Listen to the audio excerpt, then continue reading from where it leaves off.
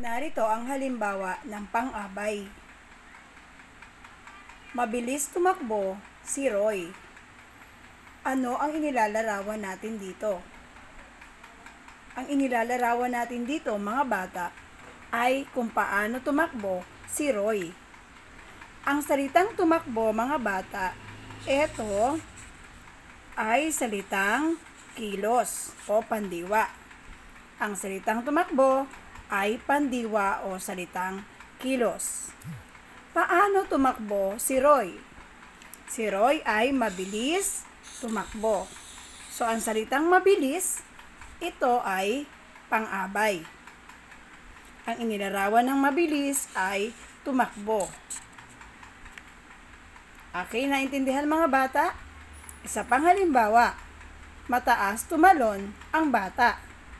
Paano tumalon ang bata? Mataas, magaling. So ano ang salitang kilos dito? Ang salitang kilos dito mga bata ay tumalon. Paano inilarawan ang tumalon? Mataas. No? Etong mataas. Ang salitang mataas ay pang-abay. Ang inilalarawan niya ay kung paano tumalon ang bata. No? Ang inilalarawan ng mataas ay tumalon. So, paano tumalon ang bata? Mataas. So, ang mataas mga bata, ito ang ating pang-abay.